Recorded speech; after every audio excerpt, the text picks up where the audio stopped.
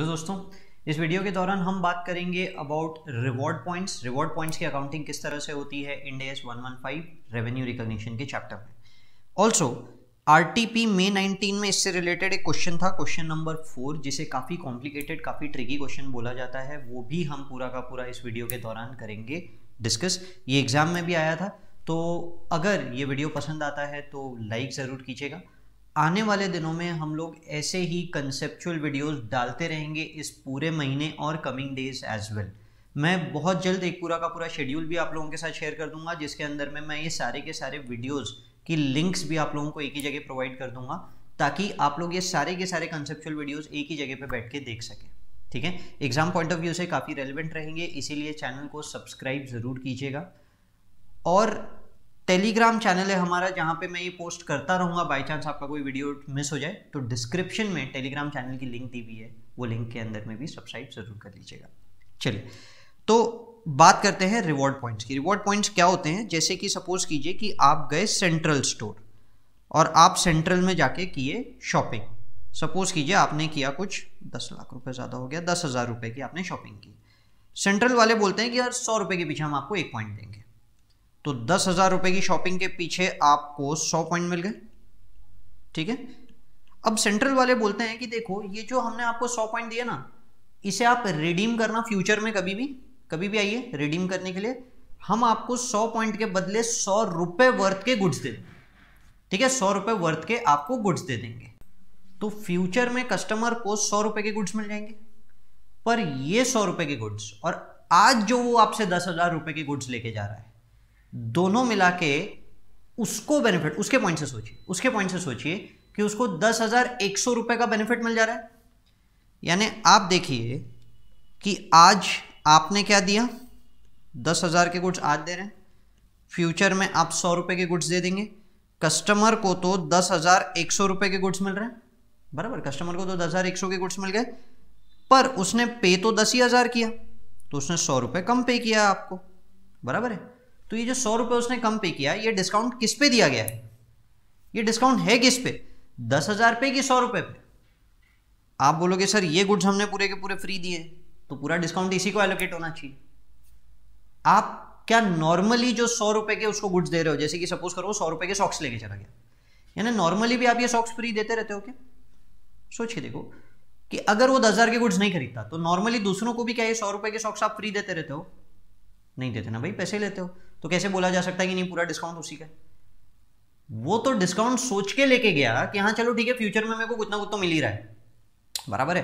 वो random product है, वो कोई भी प्रोडक्ट ले सकता है। हो सकता है वो जीन्स लेके चले जाए जिसमें सौ रुपए का आप उसको डिस्काउंट दे दोगे। लॉजिक समझ में आ रहा है? तो दस हज़ार रुपए में जो सौ रुपए उसने फ्री दिया, आप ये नहीं बोल सकते कि पूरा का पूरा डिस्काउंट उसी का है। हमको नहीं पता।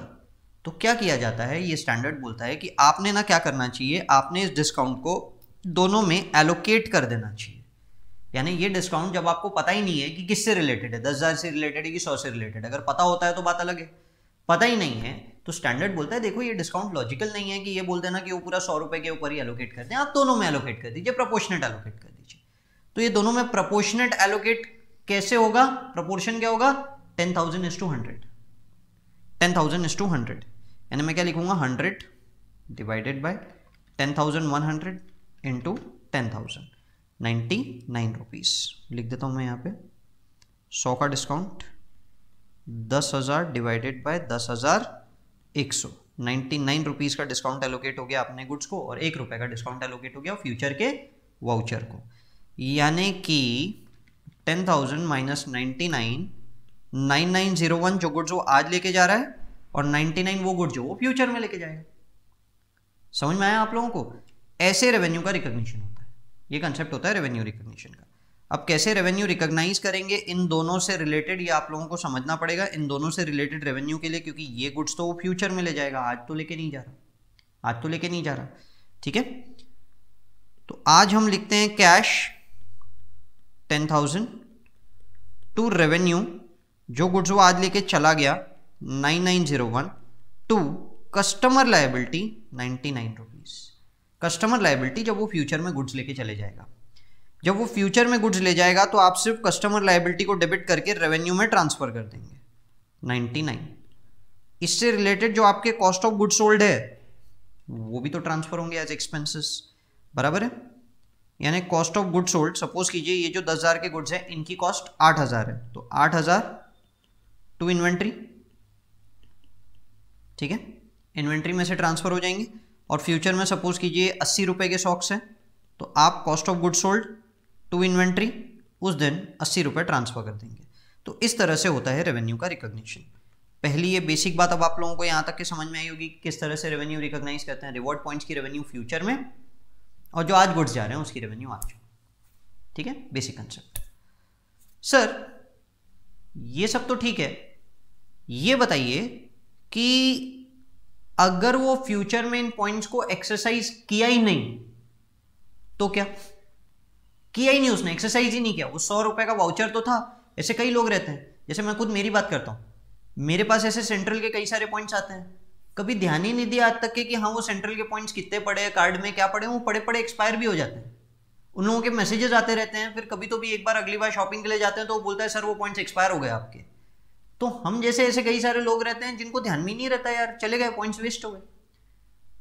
तो क्या करना चाहिए? इस पॉइंट पे अगर वो वेस्ट हो गए एक्सपायर हो गए तो फिर ये कस्टमर लाइबिलिटी का क्या होगा? रेवेन्यू में तो ट्रांसफ़र होगा, क्योंकि रेवेन्यू तो आपको हो गया, अब एक्सपायर भी हो गया पैसे भी मिल गए, लौटाना भी नहीं है। रिस्क एंड रिवॉर्ड पूरी तरीके से खत्म। बराबर है ना? अब तो जो हुआ, आपका ही हो गया। सामने वाला कस्टमर अब कुछ क्लेम ही नहीं कर सकता। तो ऐसे में भी रेवेन्यू को रिकॉग्नाइज तो करना ही पड़ेगा ना। सिंपल कहानी है रेवेन्यू को तो रिकॉग्नाइज करेंगे। इस पॉइंट पे भी रेवेन्यू रिकॉग्नाइज की जाएगी। इस पॉइंट पे भी रेवेन्यू को रिकॉग्नाइज किया जाएगा ऐसा ही। बस ये एक एंट्री नहीं होगी। ऐसी कोई एंट्री पास नहीं होगी। खत्म। ठीक है? चलिए सर ये भी सही है। मतलब अगर कस्टमर नहीं भी लेता है तो भी इरेस्पेक्टिव ऑफ़ द फैक्ट हमको रेवेन्यू को तो रिकॉग्नाइज करना है। सर जब पहली बार सेल हुआ था, पहली बार, तभी एक्सपेक्टेड नहीं था कि कस्टमर उन गुड्स को एनकैश करेगा। वो फ्यूचर में आएगा ही नहीं इन रिवॉर्ड पॉइंट्स को लेने के लिए। जैसे बहुत बार होता है ना, वो पाँच सौ रुपये का वाउचर देते हो, दो हज़ार रुपये की खरीदी करोगे तो ये पाँच सौ का वाउचर यूज़ कर लेना, पर मिनिमम दो हज़ार की खरीदी करना पड़ेगा। लाइफ स्टाइल देता है आई थिंक तो यार, कौन यूज़ करेगा?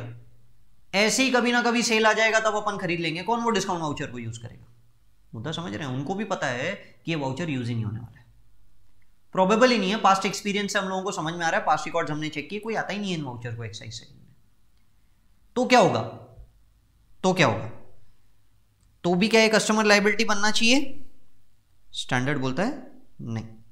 तब तो आप पूरा का पूरा दस हज़ार का रेवेन्यू ही रिकॉग्नाइज कर लीजिए। ठीक है?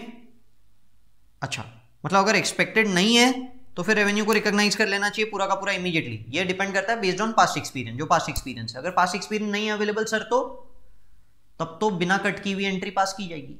तब तो कस्टमर लाइबिलिटी दिखाना ही पड़ेगा। आपके बोलने पे थोड़ी मानेंगे यहाँ नहीं आएगा कस्टमर हम बोलने पे थोड़ी मानते हैं, हम ऑडिटर्स है। हम चेक करेंगे पास रिकॉर्ड्स है तो हम लोग आपको रेवेन्यू रिकॉग्नाइज करने देंगे पूरा। अगर पास रिकॉर्ड नहीं है तो फिर तो हम कस्टमर लाइबिलिटी बनाएँगे। फ्यूचर में रेवेन्यू रिकॉग्नाइज कर लेना। सर हमने नहीं बनाया। पास एक्सपीरियंस के हिसाब से हमने प्रोविज़न नहीं बनाया। आ गया कस्टमर सर लेने के लिए। अब क्या करेंगे? आ गया कस्टमर लेने के लिए। आ गया कस्टमर लेने के लिए तो आपको टेंशन क्या है? रेवेन्यू तो रिकॉग्नाइज हो गई, बस अर्ली रिकॉग्निशन हो गया। इसको बोलते हैं change in estimate revenue recognise हो चुकी है. अब टेंशन लेने वाली कोई बात नहीं है. इस पे दिमाग मत लगाना. ठीक है? इस पे दिमाग मत लगाना. ये ज़रूर आएगा. कॉस्ट ऑफ़ गुड सोल्ड ज़रूर आएगा. तो देखिए, हम आपके सामने चार केसेस डिस्कस कर रहे हैं.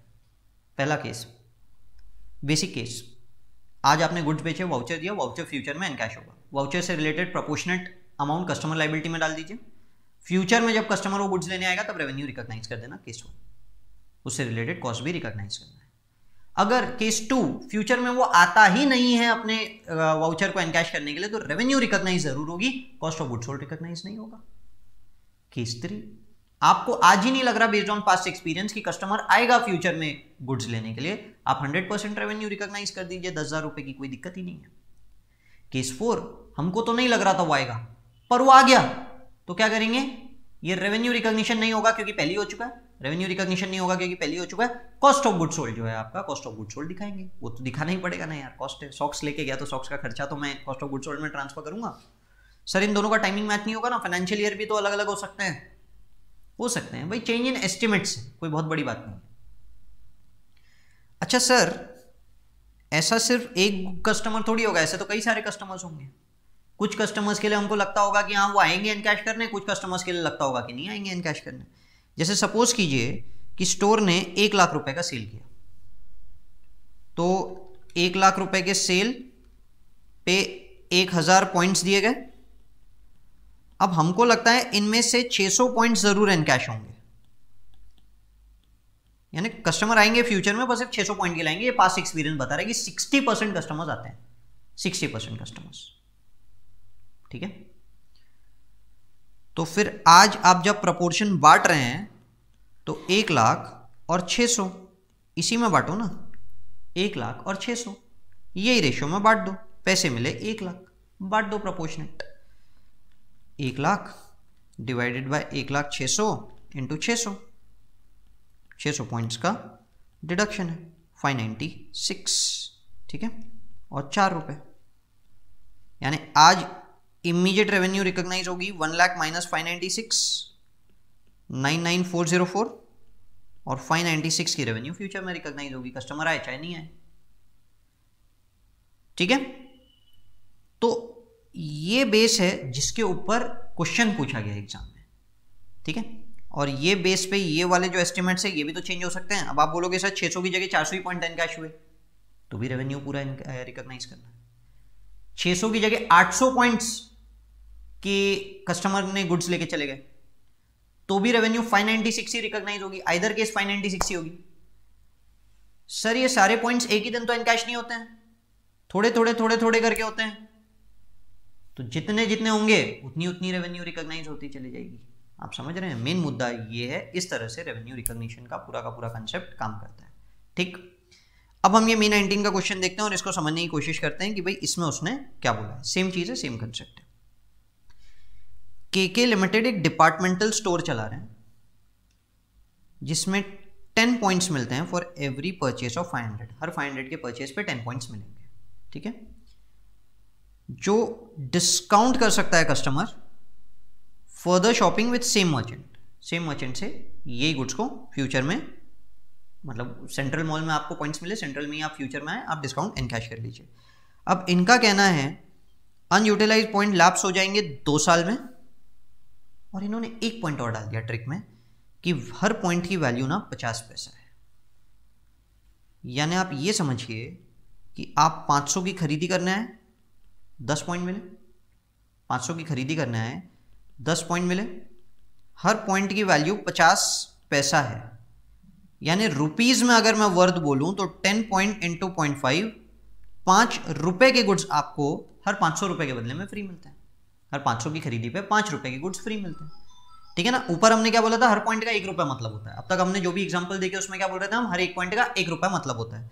पर यहाँ इन्होंने बोला, नहीं नहीं नहीं, एक पॉइंट का मतलब पचास पैसा होता है फिफ्टी पैसा है। तो हम, अब हमको क्या करना है? अब हम लोग रेवेन्यू रिकॉग्निशन के लिए यहाँ पे फाइव रुपीज़ लेंगे। हर पाँच सौ के बदले पाँच रुपए। ठीक है? चलो। During the year seventeen eighteen entity ने अवार्ड किए वन करोड़ पॉइंट्स अब आप सोचो वन करोड़ तो पॉइंट्स अवार्ड हुए। हर पॉइंट की वैल्यू पचास पैसा, यानी पचास लाख रुपए का बेनिफिट कस्टमर को। बराबर है? यानी अगर मैं कस्टमर को बेनिफिट बोलूँ तो बेनिफिट कस्टमर को वन करोड़ पॉइंट्स यानी hundred lakh into point five fifty lakh rupees का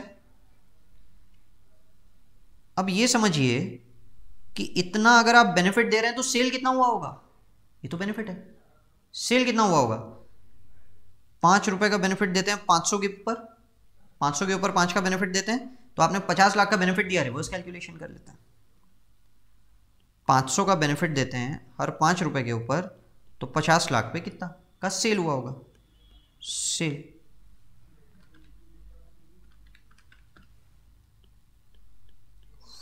Five thousand lakhs. Five thousand lakh का सेल हुआ होगा। समझ गए? ये क्लियर हुआ होगा कि भाई अपन ने उसको वन लाख पॉइंट्स दिए hundred lakh hundred lakh points दिए हंड्रेड लाख पॉइंट हर पॉइंट का मतलब होता है पचास पैसा, यानी फिफ्टी लाख रुपीज़ के गुड्स कस्टमर लेके जा सकता है। फिफ्टी लाख के गुड्स ले जाने के लिए कस्टमर ने शॉपिंग कितने की की होगी? भाई हम तो पाँच रुपए का बेनिफिट दे रहे थे, हर पाँच सौ रुपए के सेल पे। तो रिवर्स कैलकुलेशन कि अगर पचास लाख का बेनिफिट दे दिया तो सेल कितने का हुआ होगा? ठीक? चलो। Points of various customers of which 18 lakh points remained undiscounted 18 lakh points अभी तक के यूटिलाइज नहीं हुए अठारह लाख पॉइंट्स अभी तक के यूटिलाइज नहीं हुए और मैनेजमेंट एक्सपेक्ट कर रहा है 80 percent will be discounted in future 80 percent will be discounted in future of which normally 60 to 70 percent are redeemed in next year अब दो साल का पीरियड दे रहे हो आप तो। ठीक है? ये फ़र्स्ट इस ये ईयर वन ये ईयर टू आप तो दो साल देते हो ना, लिखा हुआ है क्लियरली कि दो साल तक के कस्टमर इन गुड्स को यूज़ कर सकता है। बराबर? अब आपने इस पॉइंट पे हंड्रेड लाख पॉइंट्स दिए, बराबर? इसमें से अपने को पता है एटी टू लाख पॉइंट्स यहीं पे यूज़ हो गए। Eighty two lakh point use हो गए, दिख रहा है क्लियरली एक्सपेक्टेड है कि इन दो सालों में एट्टी परसेंट पॉइंट यूटिलाइज हो जाएँगे। ठीक है? कौन से एट्टी परसेंट? बचे हुए एटीन लाख के। बचे हुए एटीन लाख के एट्टी परसेंट यूटिलाइज हो जाएँगे।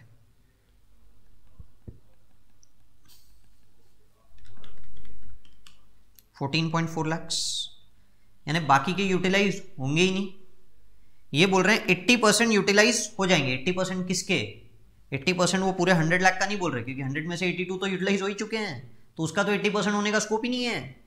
अपन बोल रहे हैं जो बचे हुए हैं अनडिस्काउंटेड अमाउंट पॉइंट्स है पॉइंट्स अनडिस्काउंटेड पॉइंट्स है वो अनडिस्काउंटेड पॉइंट में से 80 परसेंट दो साल में यूज़ हो जाएँगे, यानी 14.4 तो 3.6 का क्या? ये 3.6 लाख का क्या? ये यूटिलाइज होंगे ही नहीं, ये लैप्स हो जाएँगे, ये अपना एक्सपेक्टेशन है। तो अगर ये आपका एक्सपेक्टेशन है लैप्स हो जाएँगे तो इसकी रेवेन्यू आज ही रिकॉग्नाइज कर लीजिए। इसका टेंशन लेना ही नहीं है, ठीक है? चलो। अब मैनेजमेंट एक्सपेक्ट कर रहा है 80 परसेंट डिस्काउंट होंगे, जिसमें से 60 टू 70 परसेंट तो ईयर वन में ही हो जाएँगे। यानी अगर मैं एवरेज 60 परसेंट भी बोलूँ तो रफली 10.8 लाख पॉइंट्स यूटिलाइज हो जाएँगे ईयर वन में। और 14.4 से अगर मैं कंपेयर करूँ तो 3.6 लाख पॉइंट्स यूटिलाइज हो जाएँगे उसके नेक्स्ट ईयर में। रफली अपना एस्टिमेट है कि इस तरह से पॉइंट्स यूटिलाइज हो जाएँगे।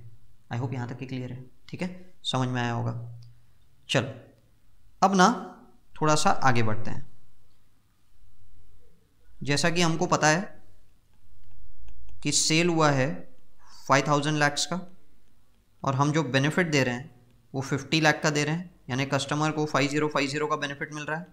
पर कस्टमर ने पे तो फाइव थाउज़ेंड ही किया है। तो अब थोड़ा सा प्रपोर्शनेटली बांट लेते हैं इसको पहले। पहले एक बार का तो बांट लेते हैं ना, बाद में दिमाग लगाएँगे कि वो एट्टी परसेंट वगैरह का क्या। तो five zero five zero sorry five thousand divided by five zero five zero into fifty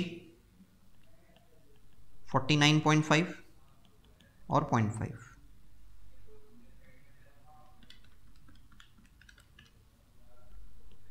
Four nine five zero point five और फोर्टी नाइन पॉइंट फाइव। इस तरह से रेवेन्यू का रिकॉग्निशन होना चाहिए, ठीक है? मैं थोड़ा राउंड ऑफ़ कर रहा हूँ इंस्टीट्यूट ने राउंड ऑफ़ नहीं किया है पूरा का पूरा फिगर दिखाया फाइव थाउज़ेंड लाख का। अपन थोड़ा राउंड ऑफ़ करके देख रहे हैं, ठीक है? कंसेप्ट समझ रहे हैं ना अपन तो इसलिए अभी बहुत बड़े फिगर मैथमेटिकल कैलकुलेशंस की बात नहीं कर रहे अपन। चलो तो होना क्या चाहिए आज? Cash debit five thousand lakhs हम रेवेन्यू रिकॉग्नाइज कर लेंगे फोर नाइन फाइव ज़ीरो की, और कस्टमर लाइबिलिटी में पड़ा रहेगा फोर्टी नाइन पॉइंट फाइव ठीक है? आई होप यहाँ तक आप लोगों को समझ गया। क्वेश्चन के दो पार्ट है। आपका ये एट्टी परसेंट एक्सपेक्टेशन कब का था? साल भर सेल हुआ है। समझ रहे हैं? जब साल भर सेल हो रहा है, तब अपन दिमाग नहीं लगा रहे। कि साल भर सेल हुआ है तो हाँ ठीक है, अभी देखते हैं कि इस साल कितने कस्टमर्स आके वापस इसी साल में रिडीम कर लेंगे पॉइंट्स को, देख लेते हैं अपन। ठीक है? फिर साल के एंड में अपन बोल रहे हैं हाँ भाई, अठारह लाख पॉइंट ऐसे थे कि यूटिलाइज नहीं हुए। अब ये जो अठारह लाख पॉइंट यूटिलाइज नहीं हुए हैं, ये अठारह लाख पॉइंट्स के कंपेरिजन में एट्टी परसेंट यूटिलाइज हो जाएँगे फ्यूचर में। ये एस्टिमेट्स कब चेंज हो रहे हैं?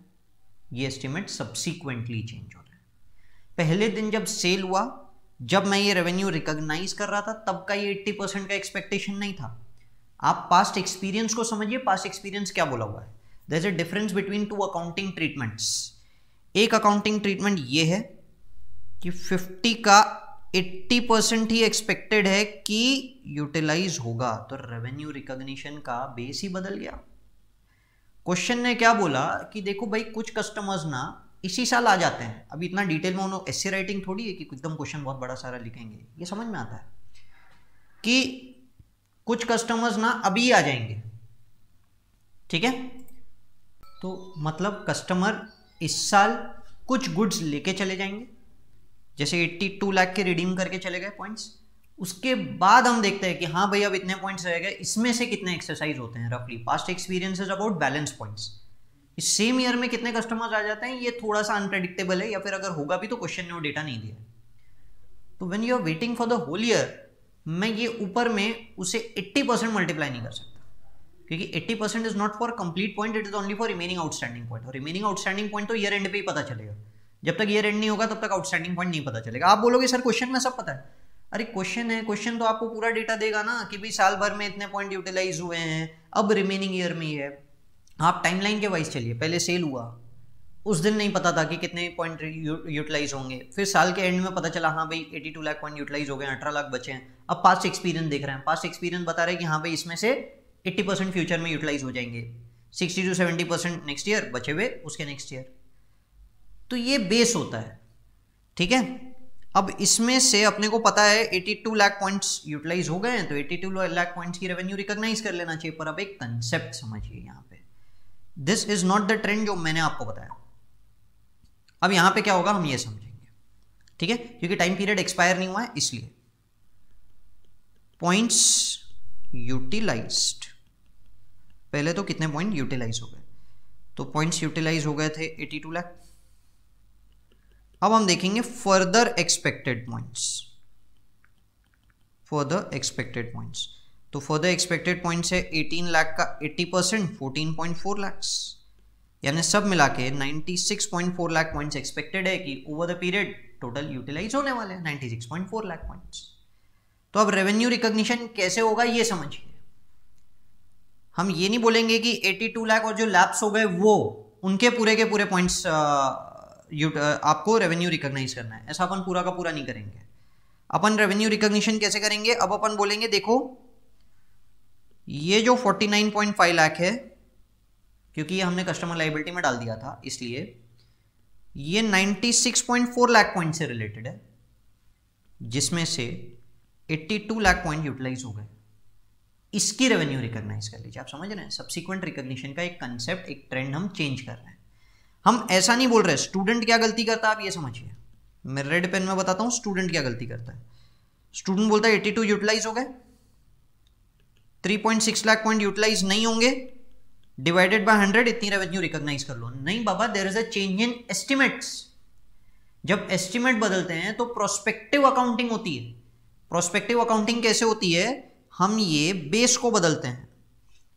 Base has been change to 96.4 lakh कि 82 लाख यूटिलाइज हो गए और 14.4 और एक्सपेक्टेड है टू बी यूटिलाइज यानी हमने कस्टमर लाइबिलिटी में जो पॉइंट जो अमाउंट रखा है कस्टमर लाइबिलिटी में, उसको इस प्रपोर्शन में बांटना है। पुराना प्रपोर्शन भूल जाइए प्रोस्पेक्टिव अकाउंटिंग अगर आप हंड्रेड लग रहे हैं तो आप तो सब्सिक्वेंटली वही बेस लेके चल रहे हैं ना। बेस चेंज करना पड़ेगा। एस्टिमेट चेंज यही होता है। तो 96.4 लाख अब टोटल एक्सपेक्टेड पॉइंट्स है, जिसमें से 82 लाख पॉइंट यूटिलाइज हो चुके हैं। इतनी प्रोपोर्शनल रेवेन्यू आप रिकॉग्नाइज कर लीजिए। समझ गए? तो 49.5 into eighty two divided by ninety six point four होता है फोर्टी टू पॉइंट वन ठीक है? फोर्टी टू पॉइंट वन तो अब मैं क्या करूँगा? Customer liability debit to revenue forty two point one lakh इतनी रेवेन्यू को मैं रिकॉग्नाइज कर लूँगा। ठीक है? देखिए। अपन ना how should it be done for ten lakh rupees अब टेन लाख छोड़ो, अपन ने पूरे फाइव थाउज़ेंड लाख के लिए कर दिया तो पहला क्वेश्चन तो आप लोग खुद ही अटेम्प्ट कर लेंगे, बड़ी बात नहीं है। How should redemption be recorded in seventeen eighteen requested you to present sale of goods and redemption as independent transaction sale five thousand lakh इन्होंने बताया भी है। अपने को ज़रूरत भी नहीं थी, अपन ने उसके बिना ही कर लिया। तो पहली एंट्री मैंने बता दिया। How much deferred revenue should be recognise in seventeen eighteen because estimation है कि only eighty percent will be utilise ये भी हमने बता दिया। अब नेक्स्ट ईयर जा रहे हैं। 18 19 60 percent of outstanding pound points were discounted ठीक है? अच्छा इसमें ना फाइनेंस एलिमेंट नहीं आएगा कि दो साल बाद यूटिलाइज हो रहे हैं तो चलो इसमें फाइनेंस कंपोनेंट भी ले लो। नहीं, इसमें नहीं आएगा वो सब चीज़ें। ठीक है? तो अब अपने जो आउटस्टैंडिंग पॉइंट्स है पहले मैं यहाँ पे वो लिख देता हूँ। 49.5 माइनस फोर्टी हो गया 7.4 लैक्स ठीक है? इतना बचा हुआ है। अब अपन क्या करेंगे? पॉइंट्स यूटिलाइज अब अपन नेक्स्ट ईयर पे आ चुके हैं eighteen nineteen sixty percent of outstanding points outstanding अठारह लाख थे फोर्टीन पॉइंट फोर नहीं बोलूँगा मैं। आउटस्टैंडिंग अठारह लाख थे, अठारह लाख के सिक्सटी परसेंट पॉइंट यूटिलाइज हो गए। टेन पॉइंट एट लाख, बराबर? Balance forty percent outstanding still remained outstanding how much of revenue should be recognise अब इन्होंने ऐसा थोड़ी बोला है कि एस्टिमेट्स हमारे चेंज हो रहे हैं। ठीक है? फ्यूचर यूटिलाइजेशन चेंज नहीं हुआ है एक्सपेक्टेशन तो मेरे हिसाब से टोटल तो अभी 14.4 ही रहेगा। यानी 3.6 लाख पॉइंट्स फ्यूचर में यूटिलाइज होंगे। ये अपना एस्टिमेट है, अभी अपने एस्टिमेट्स बदले नहीं है। ठीक है, अभी अपने एस्टिमेट्स नहीं बदले हैं।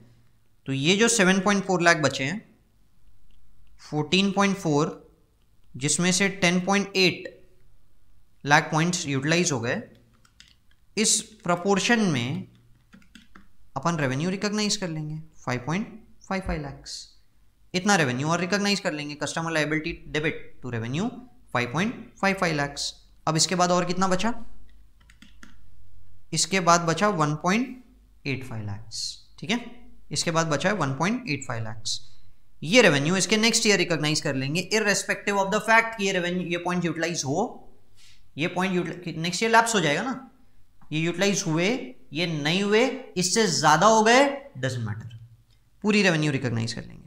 How much revenue 1920 3 lakh points वो यूटिलाइज्ड अपन तो 3.6 लाख ही एक्सपेक्ट कर रहे थे। 3 लाख पॉइंट यूटिलाइज हो गए। डजेंट मैटर बचे हुए लैप्स हुए, हम तो पूरी की पूरी रेवेन्यू रिकॉग्नाइज करेंगे। आइए हमारे इस आंसर को मैच करते हैं फाइनल आंसर के साथ।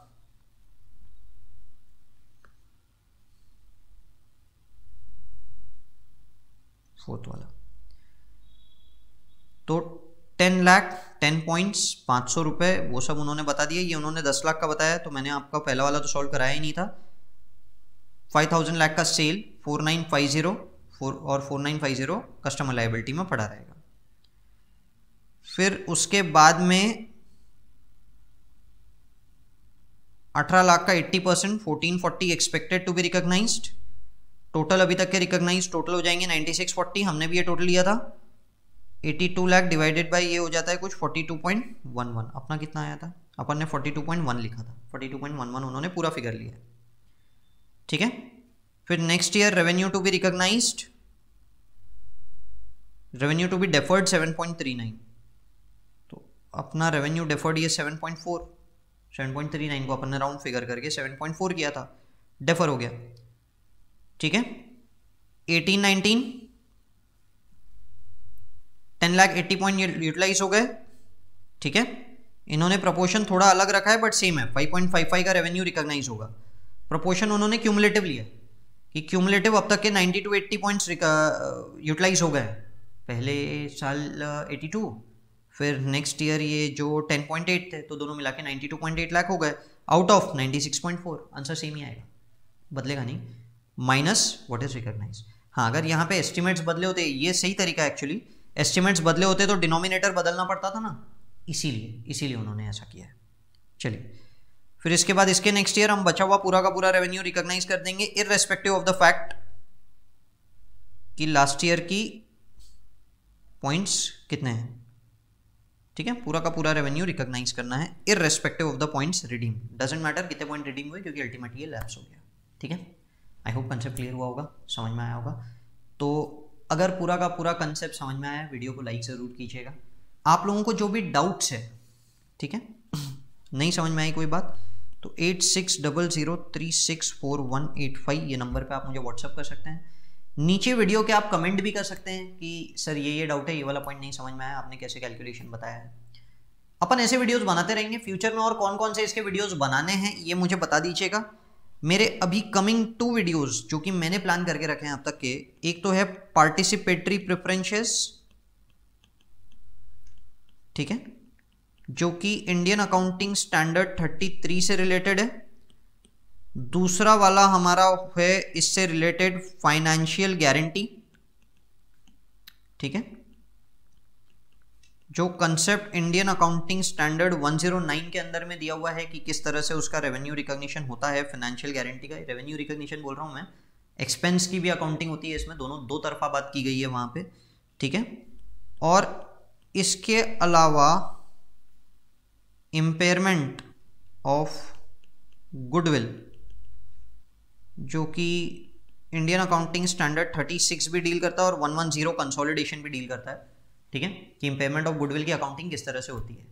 कमिंग डेज़ में आप लोगों को ये भी वीडियोज़ मिलेंगे, ठीक है? तो चैनल को ज़रूर सब्सक्राइब कीजिए ताकि आप लोगों को इसके नोटिफिकेशन आते रहे कि ये ये वीडियोस अपलोड हो गए आप लोग देख सकते हैं। अपन पूरा मंथ रेगुलर बेसिस पे ऐसे वीडियोस डालते रहेंगे ताकि आप लोगों का कोई टाइम वेस्ट ना हो। हर रोज़ के वीडियोस तैयार रहेंगे। ठीक है? चलिए thank you and all the best